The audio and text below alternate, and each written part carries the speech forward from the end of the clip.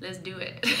Kalina Miche grew up in a small town in West Texas called Rule, with a population of about 600. Never been around a lot of other creative people, and everybody had always told me, like, you can't make a living doing that. But Miche wanted to beat the odds and step out of her comfort zone of what she's always known. Finally, one day, I just was like, I have to do this. I have to try to do these large murals because I fell in love with urban street art. A leap of faith that pushed Miche to travel city to city, painting murals and building her reputation. And now it's led her to paint a mural for Midland's downtown library. It was a unique opportunity to come in and actually bring some color because it's kind of just this sea of brown and, and gray downtown. Not only to revamp the library's exterior, but to bring life to downtown.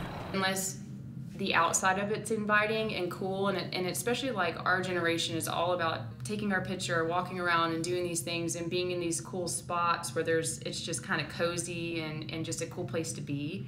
And i think like art really does that. So what can you expect from Miche's mural coming soon? My style is very expressive and i just feel like that comes from life through like happy mistakes and layers and we you know that's all of our stories. So i really try to keep that within the artwork of people wanting to touch it and wanting to be a part of it and having a feeling about it. A win win that Miche says is for all ages. Everybody from three years old to we've had people that are 85 that get out of their car and they're like, I just want to do a dot somewhere. and so we make we let them do their thing and get a picture. Speaking of pictures, it's another thing to look forward to. It's a social media world, so everybody's excited about um, taking their selfies and these colorful backgrounds which is awesome because it also gets people out and walking around and exploring their city on foot. So it really brings like a whole new life to everything that wasn't there before. In Midland, Lauren